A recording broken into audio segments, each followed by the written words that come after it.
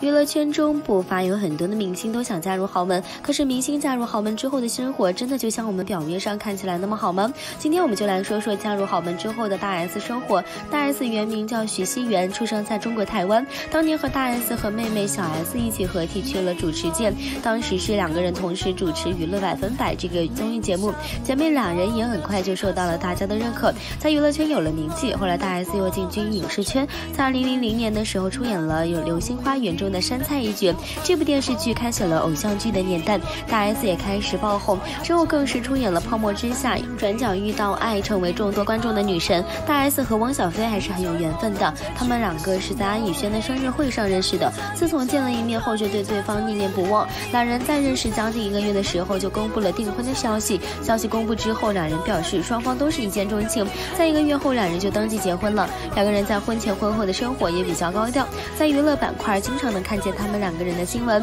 但观众猜测他们两个人之间的感情像表现出来的那么好吗？据爆料，汪小菲在和大 S 结婚后，经济状况没有以前那么好了。汪小菲做的生意的头脑并不是很精明，先后创业都是以失败告终的。更有传言，汪小菲的公司已经快要破产了。大 S 出手卖掉了他们价值两个多亿的婚房去帮助汪小菲。虽然最后两个人都澄清了，汪小菲表示绝对没有这样的事儿，不会让老婆还债的。但有这样的消息传出来，估计还是会有一些原因的。大 S 确实是在结婚之后又开始在娱乐圈复出，参加了很多综艺和主持的节目。据了解，婚后的大 S 的生活并没有表面上那么幸福，在家里的时候状况也并不是很好。汪小菲虽说不是娱乐圈的人，但是身边的绯闻也没有断过，和几个女明星都传出过绯闻，甚至还有人爆料汪小菲在大 S 临产的时候，不仅没有陪在老婆身边，还和朋友一起去了夜店。两人在一一年的时候也被人爆出来感情不和，汪小菲在一家。酒店的包间里对大 S 破口大骂，